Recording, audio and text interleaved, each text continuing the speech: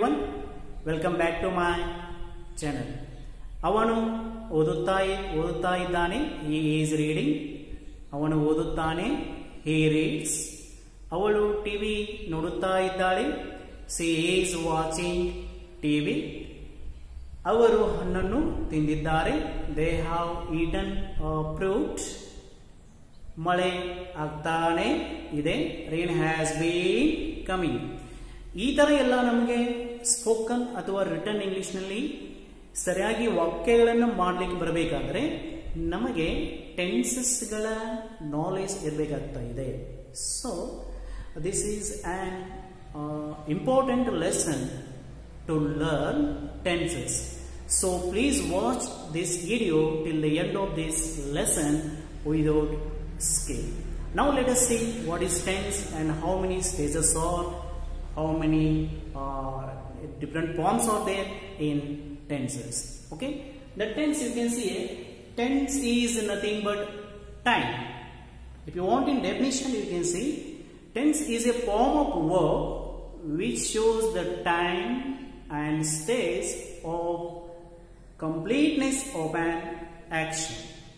ಒಂದು ಕ್ರಿಯೆ ಯಾವಾಗ ಮುಗೀತದ ಯಾವಾಗ ಮುಗಿದಿದೆ ಅನ್ನೋದನ್ನ ಸರಿಯಾಗಿ ಹೇಳೋದನ್ನೇ ನಾವು ಏನು ಹೇಳ್ತಾ ಇದ್ದೇವೆ ಟೆನ್ಸಸ್ ಅಂತ ಹೇಳ್ತಾ ಇದ್ದೇವೆ so three stages are sorry three tenses are they first one present ವರ್ತಮಾನ ಕಾಲ ಸೆಕೆಂಡ್ ಒನ್ ಪಾಸ್ಟ್ ಟೆನ್ಸ್ ಭೂತಕಾಲ ಥರ್ಡ್ ಒನ್ ಫ್ಯೂಚರ್ ಟೆನ್ಸ್ ಈ ಭವಿಷ್ಯತ್ ಕಾಲ ಅಂತ ಹೇಳ್ತಾರೆ ಸೊ ಪ್ರೆಸೆಂಟ್ ಟೆನ್ಸ್ ನಾವು ನಾಲ್ಕು ಸ್ಟೇಜ್ಗಳಾಗಿ ಡಿವೈಡ್ ಮಾಡ್ತಾ ಇದ್ದೇವೆ.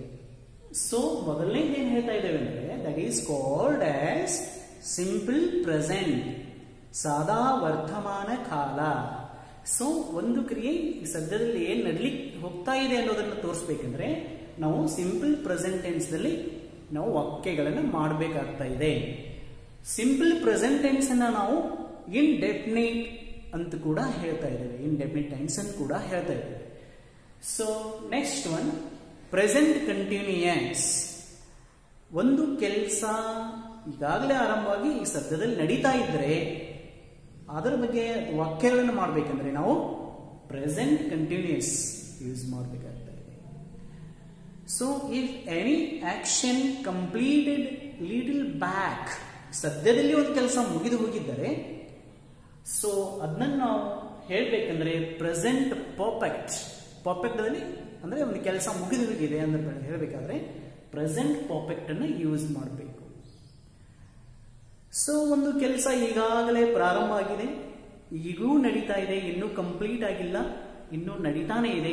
ಈಗ ಹೇಳಬೇಕಾದ್ರೆ ಸೊ ನಾವು ಪ್ರೆಸೆಂಟ್ ಪರ್ಫೆಕ್ಟ್ ಕಂಟಿನ್ಯೂಸ್ದಲ್ಲಿ ಸೆಂಟೆನ್ಸ್ ಅನ್ನ ಮಾಡಬೇಕಾಗುತ್ತೆ. So these are four stages in present tense in the same way you can see in past tense also ಭೂತಕಾಲದಲ್ಲಿ ಕೂಡ ಇದೇ ತರ ನಾಲ್ಕು ಸ್ಟೇಜ್ಗಳನ್ನ ನಾವು ನೋಡಬಹುದು so first one it is called as simple past ಇದು ಪಾಸ್ಟ್ ಟೆನ್ಸ್ ಅಲ್ಲಿ ಹೇಳುವಂಥದ್ದು.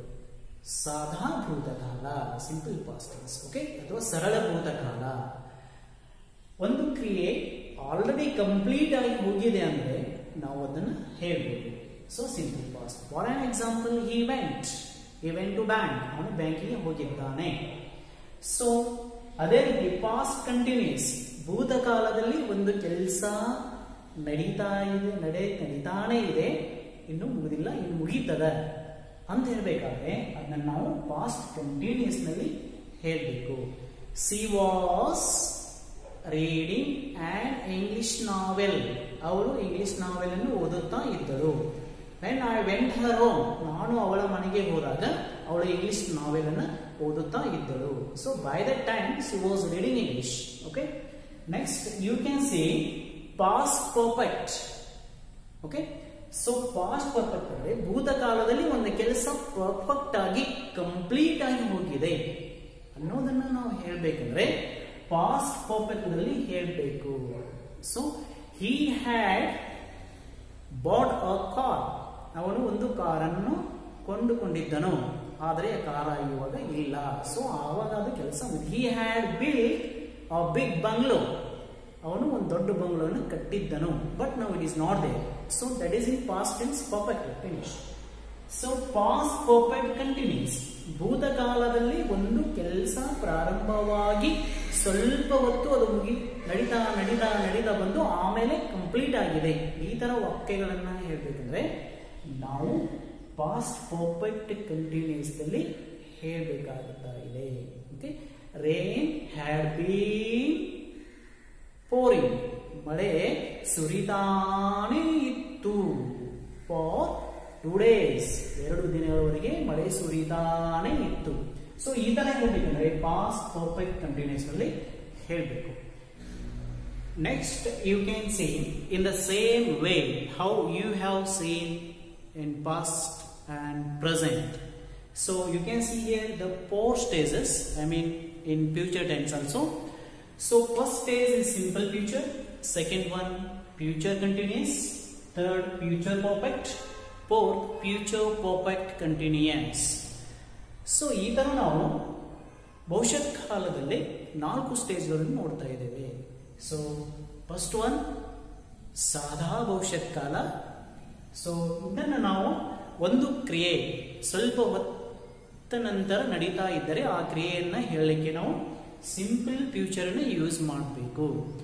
ಐ ಶಾಲ್ ಮೀಟ್ ಹಿಮ್ ನಾನು ಅವನನ್ನು ಭೇಟಿ ಆಗುತ್ತೇನೆ so next future continuous so ಯಾವ ಟೆನ್ಸ್ದಲ್ಲಿ ಕಂಟಿನ್ಯೂಸ್ ಇದೆ ಅಲ್ಲ, ಇದರ ಅರ್ಥ ಒಂದು ಕೆಲಸ ಅಲ್ಲಿ ಕಂಟಿನ್ಯೂಸ್ ಆಗಿ ನಡೀತಾ ಇದೆ ಅಂತೇಳಿ ನಾವು ಅರ್ಥ ಮಾಡ್ಕೋಬೇಕಾಗ್ತಾ ಇದೆ.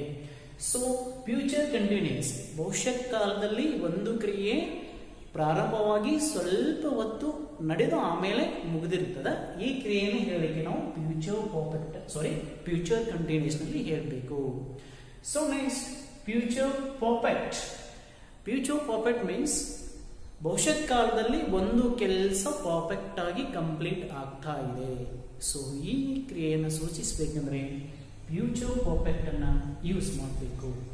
Next future perfect continuous so ಭವಿಷ್ಯತ್ ಕಾಲದಲ್ಲಿ ಒಂದು ಕ್ರಿಯೆ ಪ್ರಾರಂಭವಾಗಿ ಸ್ವಲ್ಪ ಹೊತ್ತು ನಡೀತಾ ನಡೀತಾ ನಡೆದು ಆಮೇಲೆ ಕಂಪ್ಲೀಟ್ ಆಗ್ತಾ ಇದ್ದರೆ ನಾವು ಫ್ಯೂಚರ್ ಪರ್ಫೆಕ್ಟ್ ಕಂಟಿನ್ಯೂಯಸ್ನಲ್ಲಿ ಹೇಳಬೇಕಾಗ್ತಾ ಇದೆ.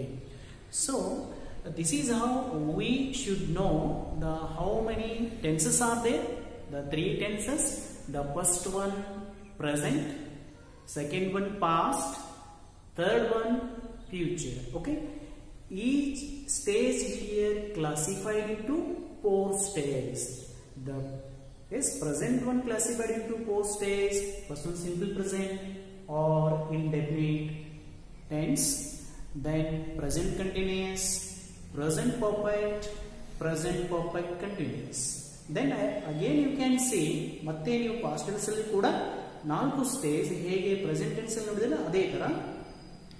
Simple past past continuous past perfect past perfect continuous so ಇದೇ ತರ ಫ್ಯೂಚರ್ದಲ್ಲಿ ಕೂಡ ನಾಲ್ಕು ಸ್ಟೇಜ್ಗಳನ್ನು ನೋಡ್ತಾ ಇರ್ಬೋದು ನೋಡ್ತೀವಿ ನೋಡ್ತಾ ಇದ್ದೇವೆ.